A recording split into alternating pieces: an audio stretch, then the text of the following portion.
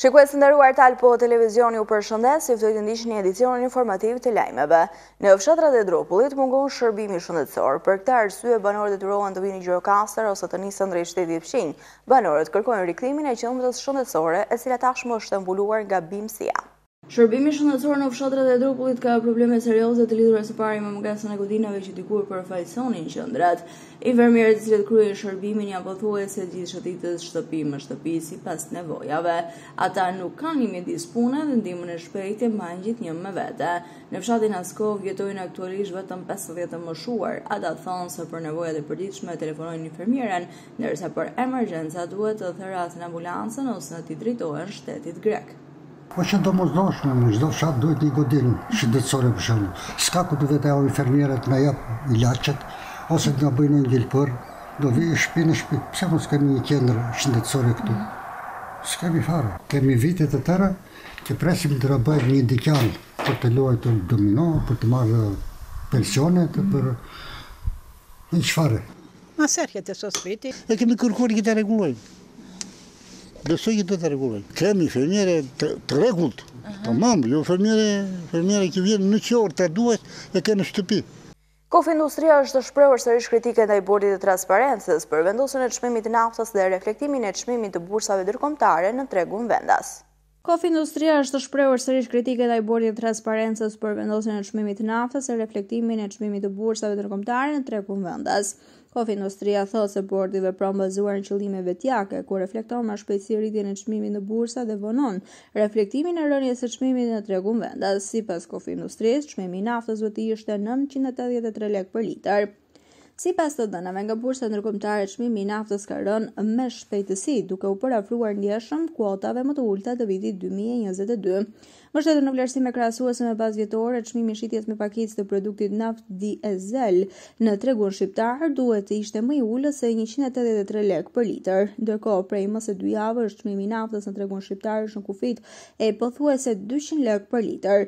Kostot e mësipërme shtesë për qytetarët e bizneset arrijnë në vlera miliona dollarë. Konfindustria rishpreh shqetësimin e saj se Bordi i Transparencës në vazhdimësi vonon në mënyrë të tejskajshme kohore dhe qartësisht të qëllimtë vendimmarrjen në rastin e uljes së çmimit të karburanteve në tregjet ndërkombëtare. Në të njëjtën kohë, institucioni në fjalë vazhdon praktikën e vendimmarrjes së menjëhershme në rast të rritjes së çmimeve të karburanteve, duke e pasqyruar drejtpërdrejt në tregun vendor, shkruan Konfindustria në një reagim. Parashikimi i Qendrës për Kërkim Ekonomike dhe Biznesi për ekonominë e botës në nivel global dhe në nivel vendi e rendit Shqipërinë në vendin e 128 nga 191 vende. Parashikimi i Qendrës për Kërkim Ekonomike dhe Biznesi për ekonominë e vendit në nivel global dhe në nivel lokal në vitin 2037 e rendit Shqipërinë në vendin e 128 nga 191 vende.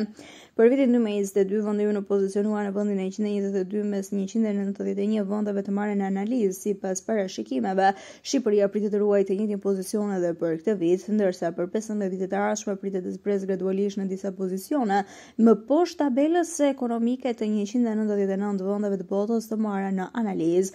Raporti ka marrë në analizë me detaj ekonominë e secilit vend, lidhur me ekonominë e Shqipërisë. Analiza thotë se pavarësisht rimëkëmbjes nga pandemia në vitin dy mijë e njëzet e një, ekonomia e vendit u përball me një rritje të lartë të çmimeve të konsumit, i cili shihet si kërcënim në vitet në vijim. Sipas analizës, rritja e vlerësuar e çmimeve të konsumit përgjatë vitit dy mijë e njëzet e dy ka tejkaluar ndjeshëm mesataren e dekadës së mëparshme, Po ashtu, edhe pse papunësia ka shënuar rënie, mbetet ende në nivele mjaft të larta, çka bëhet edhe shkak për kufizimin e shpenzimeve konsumatore për vitet që pasojnë. Në raport, një theks të veçantë i jepet edhe marrëdhënieve Shqipëri-Kosovë, ku, sipas tij, mungesa e një zgjidhjeje afatgjatë me Kosovën, kërcënon perspektivat ekonomike afatshkurtra të ekonomisë shqiptare.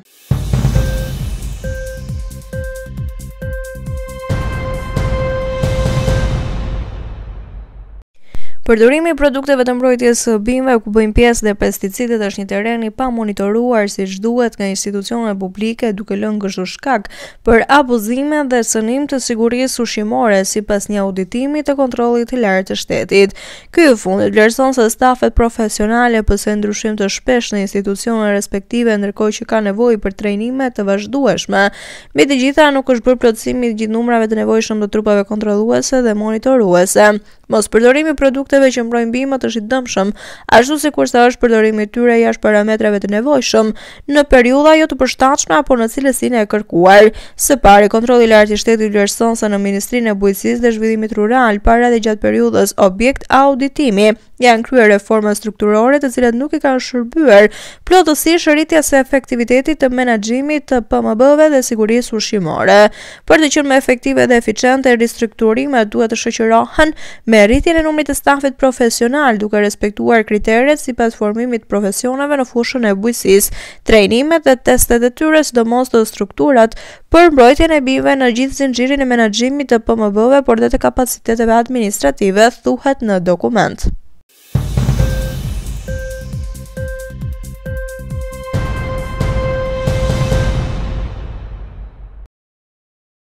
Vdekshmëria foshnjore është përkeqësuar ndjeshëm vitet e fundit në vendin tonë, Eurostat në një raport përmbledhës për Ballkanin Perëndimor dhe Turqinë, ka vërejtur se Shqipëria kishte vdekshmërinë foshnjore 10.3 për 1.000 lindje të gjalla, fenomeni i cili mbeti i lartë edhe në 2020, me 10 foshnja për 1.000 lindje. Kjo normë ishte më shumë se dyfishi i mesatares rajonale, ka raportuar Eurostat. Pas Shqipërisë, Kosova renditet me normën më të lartë në rajon me tetë pikë shtatë foshnja të vdekura për njëqind lindje, Maqedonia e Veriut me pesë pikë gjashtë, Serbia me katër pikë tetë dhe Mali i Zi me dy pikë katër.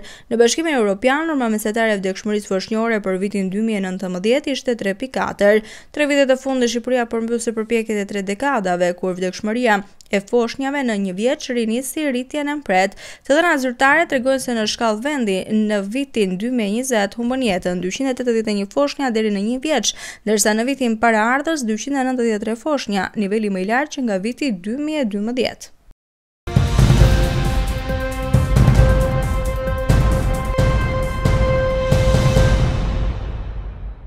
Së fundmi ndalemi në sport, Silvio Mendes de Campos Junior, i njohur si Silvinjo, u prezantua si trajneri i ri i kombëtares shqiptare. Silvinjo do të firmosë një kontratë tetëmbëdhjetë mujore me kuqezinjtë. Silvio Mendes de Campos Junior, i njohur si Silvinjo, u prezantua si trajneri i ri i kombëtares shqiptare. Silvinjo do të firmos një kontratë tetëmbëdhjetë mujore me kuqezinjtë. Synimi dhe objektivi i tij është arritja në fazën finale të Europianit Gjermani dy mijë e njëzet e katër, ku në konferencën për shtyp, ku ishte i pranishëm presidenti i FSHF-së Armando Duka dhe ish-trajneri Edi Reja, Silvinjo tha se ka qenë FSHF që e bindi të merrte në dorë frerët e kombëtares shqiptare. Braziliani falënderoi Rejën për punën e bërë deri më tani me këtë kombëtare. Jam i kënaqur me stafin tim, doja t'i thoja diçka Rejës, ka shumë punë, duhet të bëjmë disa zgjedhje të vështira. Faleminderit për punën që ka bërë, për zemrën, për pasionin. Ne kemi dëshirë që të bëjmë mirë, që ta çojmë këtë kombëtare në vendin e duhur dhe për këtë arsye jemi këtu. Kur takova presidentin, këtë pashë tek ai. Mendoj se edhe ai pa tek ne urinë dhe dëshirën për rezultate pozitive. Për t'i dhënë këtij projekti vazhdimësinë, shpeshherë dëgjoj dhe njerëzit për zgjedhjet që bën një trajner. Federata Shqiptare më bindi. Më bindi që të merrja përsipër këtë punë. Jemi të kënaqur dhe besoj se do bëjmë një punë të mirë, është shprehur Silvinjo. Njihemi me zhvillimet më të fundit nga rajoni dhe bota.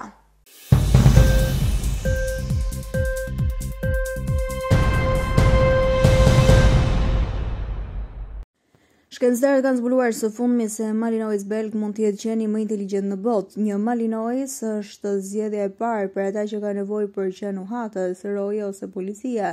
Dhe tani të dhënat tregojnë se ata janë zgjedhja perfekte, pasi janë të pavarur, zgjidhës të problemeve, të shpejtë për të përgjigjur dhe të aftë në leximin e njerëzve. Më shumë se një mijë qenë nga trembëdhjetë raca të ndryshme u rekrutuan dhe kompetenca e tyre u provua në dhjetë detyra.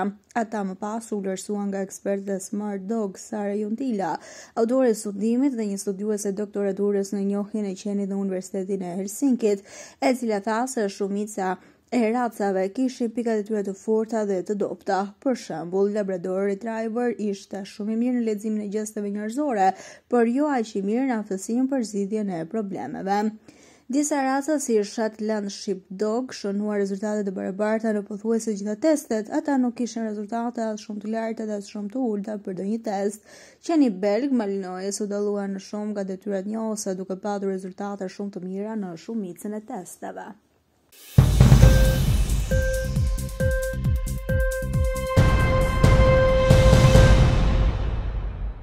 Presidenca suedeze e Bashkimit Evropian ka nisur konsultimet me vendet anëtare lidhur me kërkesën e Kosovës për anëtarësim në Bashkimin Evropian dhe në këtë moment nuk dëshiron të paragjykojë se cilat do të jenë rezultatet e këtyre konsultimeve. Këtë e ka bërë me dije në Bruksel ambasadori i Suedisë në BE, Lars Danielsson, i cili personalisht ka nisur këto konsultime në cilësinë e kryesuesit të radhës së BE-së.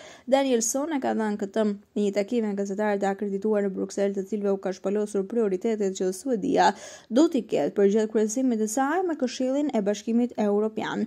Përfaqësuesi i përhershëm i Suedisë në BE ka thënë se vendimi se si do veprohet me aplikimin e Kosovës për anëtarësim në BE është procedural por edhe politik. Sipas procedurave në BE, pasi një shtet aplikon për anëtarësim, Këshilli kërkon nga Komisioni Evropian që të përpilojë mendimin se a i përmbush apo jo aplikuesi kushtet për status kandidati dhe për nisjen e negociatave të anëtarësimit.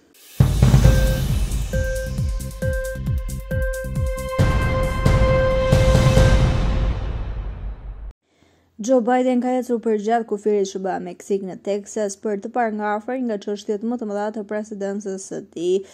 Joe Biden ka ecur përgjatë kufirit SHBA-Meksikë në Teksas për të parë nga afër një nga çështjet më të mëdha të presidencës së vet. Ai vizitoi një qendër emigrantësh në El Paso dhe u bashkua me agjentët e patrullës kufitare në një vizitë në pjesë të murit kufitar. Numri i kalimeve të emigrantëve është rritur në muajt e fundit, duke vendosur presidentin demokrat në shënjestër të akuzave si dhe ai nuk ka bërë mjaftueshëm për sigurinë. Javën e kaluar ai njoftoi masa më të ashpra për të zgjeruar kombësitë e atyre që mund të kthehen në Meksikë, ndërsa guvernatori republikan i Teksasit, Greg Abbott tha se Biden po dështon në zbatimin e ligjeve të